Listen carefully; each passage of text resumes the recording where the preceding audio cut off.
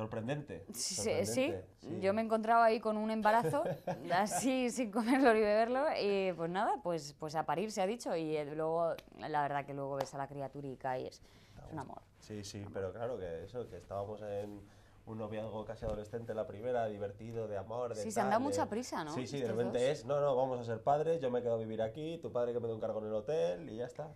Ya, Son muy tradicionales en el fondo. Digo, muy españolito de, Sí, vamos, ¿no? de yo me quedo aquí con mi suegro, tranquilo y a vivir. Claro. Bueno, pues mm, interesante, compleja. En el caso de Mavis le supone ahí un conflicto bastante serio con, con su padre, sobre todo, ¿no? Que es el que está obsesionado con que el niño tiene que ser vampiro y, y a mí me empieza ya a tocar un poco los ovarios. Sí, pero Básicamente. Ella está, pero ella está encantada, o sea, ella es Yo estoy madura, encantada, o sea, porque es ella ha madurado, está guay, lidera a todos, la que manda, tiene a su padre cagado. o Sí, sea, es- está, es- es- está, es una tiene líder. de repente... Pero el mío ha Tiene power, a que es un acojonado, tiene miedo a su suegro, ella le dice lo que tiene que hacer también, el niño, o sea, es un tontelas que el pobre hombre está ya al sol Estás que más... juzgando a tu personaje todo el rato. Sí, es verdad, yo es que esperaba más de él, esperaba más de él, en algún Te sentido esperaba, ¿no? claro, esperaba un poquito más de él, saco a los chavales, tómate unas copas, líala, que te echo una bronca, llega borracho, algo, algo que digas que, que este es las que lía. No, está ahí al calorín.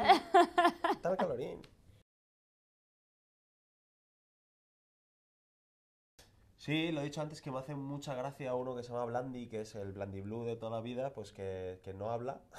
pero me Sabes que lo mismo entonces no... no habría de trabajo ni tampoco dinero con ello, con lo que lleva eso, ¿no? no. Claro. Pero es muy gracioso porque es el que le, le pasa todo. A mí me hace gracia que le pasan ramas y, claro, le pasan así, no le hacen nada, porque, claro, esto es, un- es de Blandy Blue. Es Eso me hace mucha gracia. Me hace mucha, mucha gracia. A mí los zombies, los zombies ah, me bueno, parecen... también. También los zombies son muy guays. Eh, gafulas. Hay uno que le pusimos gafula que. Los ese- mira, son muy ese nombre se me ocurrió a mí Es verdad, y lo colé. Gafulas. gafulas. Y Gafula me hace mucha gracia que está ahí. Mira, te estaba dando un mensaje. Está ahí así que me dice, se le va a caer el brazo al chaval.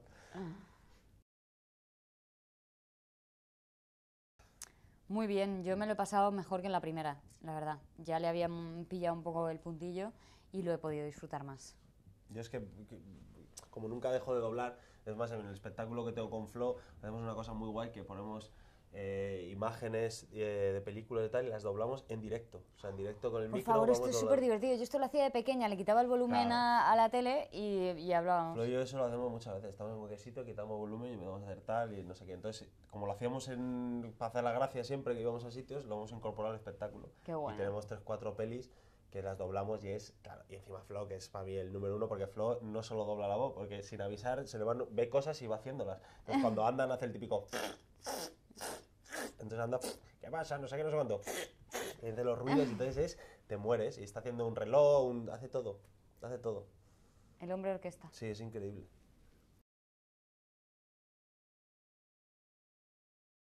Hombre, con monstruos de verdad, de verdad, de verdad, yo te digo que no. Porque yo veo una momia y digo, mire, señora, yo me voy de aquí, estoy acojonado. No has pillado el mensaje de la peli, Dani. Sí, sí, vale. A ver, o sea, tú ves traslada- a Freddy Krueger, se te sienta aquí y te pones a charlar con él diciendo, vamos a ver una oportunidad a lo, contra- a lo otro. Por lo mismo me dice, oye, tía, líame un piti que yo no Ah, puedo bueno, con la vale. suya. Algo, no sé, el pobre chaval tendrá que... Claro. venga, claro. Es que, es que Si esta es la cosa, de esto precisamente habla la película, de los prejuicios, de los prejuicios que hay contra los sí.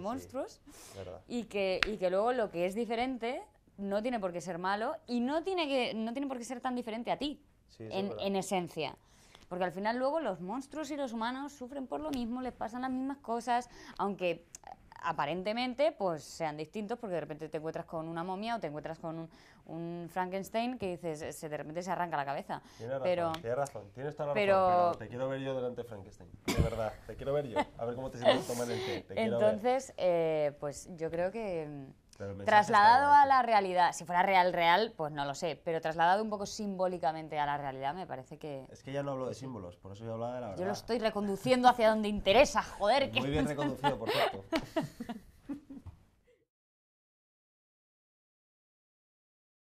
Pues, pues una película muy divertida, muy divertida, que entretiene, de estas que vas a verla si no miras el móvil ni una vez, porque estás ahí, no, no, no lo miras, estás ahí con esto y encima que te va Ya a ese gustar. es el baremo, ¿no? Hombre, el baremo si miras el móvil eso, no. Si empiezas a mirar el móvil, el. WhatsApp tengo, tal.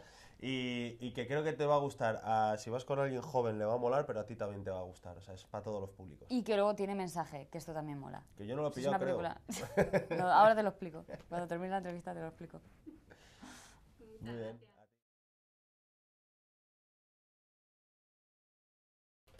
Bueno, y que hoy es el día de regreso al futuro. Sí, correcto.